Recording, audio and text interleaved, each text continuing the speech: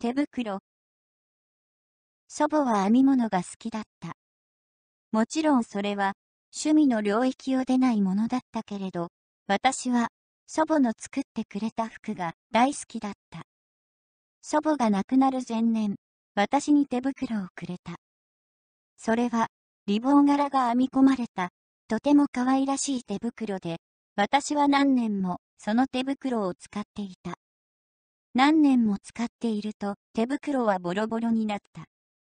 加えて、成長期なこともあって、この手袋は今年で最後かな、なんて思っていた。新しい手袋を買いに出かけてみるけれど、どれも祖母のものほどしっくりこない。そんなある日、その日も手袋をして、私は友達と高台にある公園に遊びに行った。お城の後に作られた公園なので、石垣とお堀が未だに残っている。みんなでボール遊びをしていると、ボールがお堀の方へ飛んでいってしまった。慌てて追いかけると、あった。よかった。ギリギリお堀に落ちてないみたい。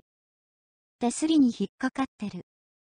そんなことを思いながら、鉄棒の横を通ると、突然、ぐいっと右腕が引っ張られた。驚いて振り向いた私は、もう一度驚いた。引っ張られたと思ったのは間違いで、私の手が、しっかりと鉄棒を握っていたのだ。え、え。私は、鉄棒を握ろうなんて思っていない。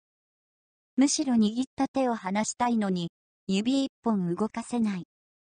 自分の手が自分のものじゃなくなったみたい。半泣きになりながら、左手で指を引き剥がそうとした、その時だった。ぐら、と地面が揺れて、私はその場にへたり込んだ。今思えば震度4くらいだったと思うのだが、めったに揺れたことがない地域だっただけに、あたりがにわかに騒がしくなった。いつの間にか、右手は鉄棒から離れていた。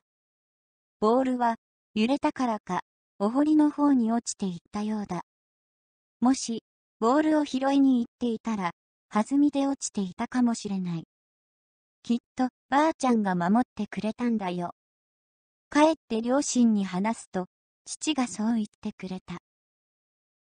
その手袋はもう小さくなって手は入らないけれど、今も私の机の上に飾ってある。